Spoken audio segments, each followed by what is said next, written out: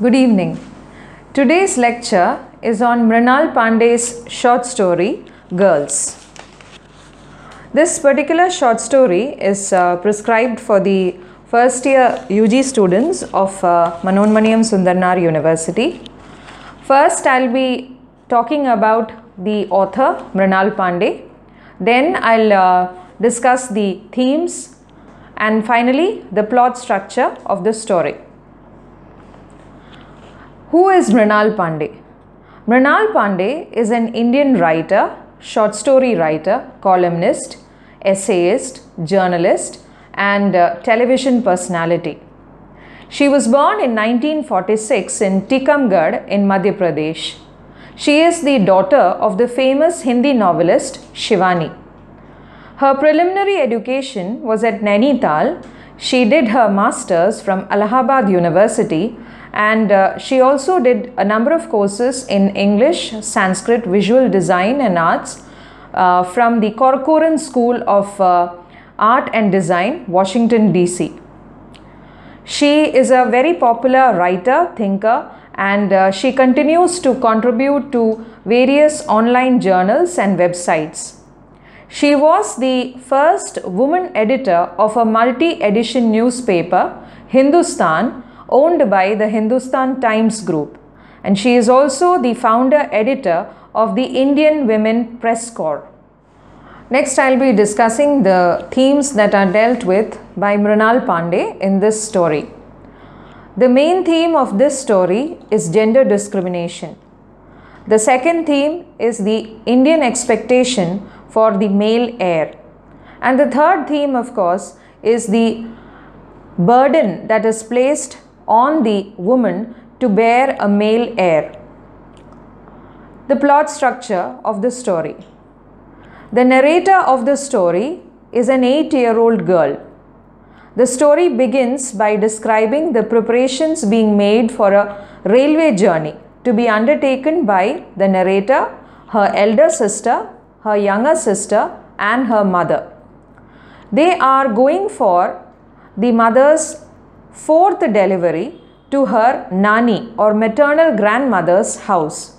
The narrator is not very happy about going to her nani's house. She loves to be at her own house with her father, who is a very loving presence in her life. But the mother is pressurized by circumstances to go for the confinement to her mother's place. She is already burdened by the idea of traveling with three daughters, all the luggage, and a surahi.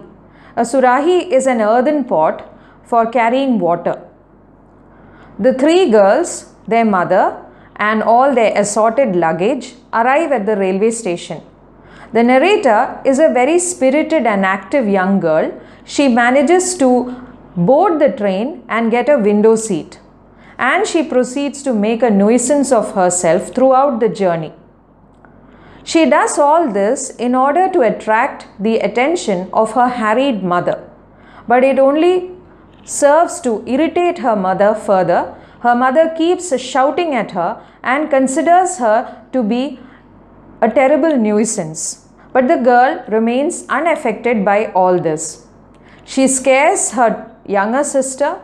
She has fun throughout the journey. When they arrive at their destination, they are welcomed by their mama or the maternal uncle. The journey from the railway station to Nani's house is also very interesting for the narrator. The narrator is not very happy in her Nani's house.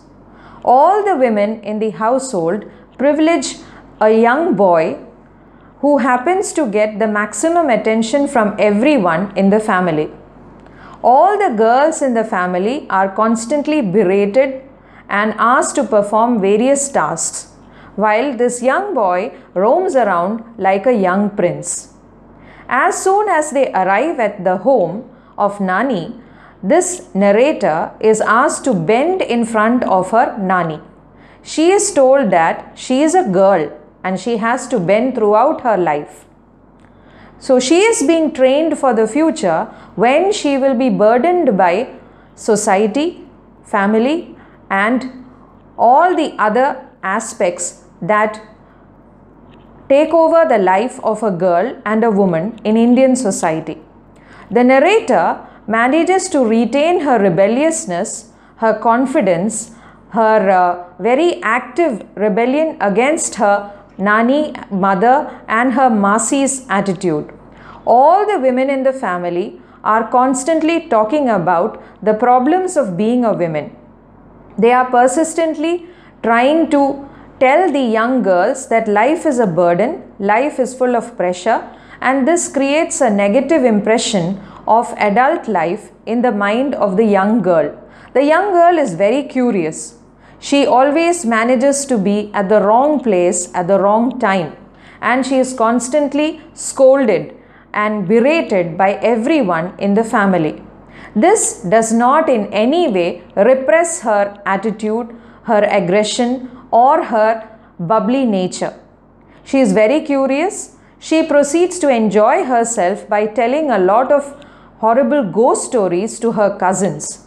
And she also does the act of bringing in a dog, a street dog, into the house. She shocks everyone with her questions. She is perpetually curious and she is bubbling over with questions and curiosity to which no one decides to give her answers. Everyone finds her to be a nuisance. One day, the day of the Chaitra Shukla Ashtami, a day when young girls below the age of 10 are worshipped as goddesses by the woman of the family arrives. On that particular day, all the young girls in the family are lovingly called by the grandmother for the puja. The narrator's grandmother calls her also, but the young girl decides to rebel.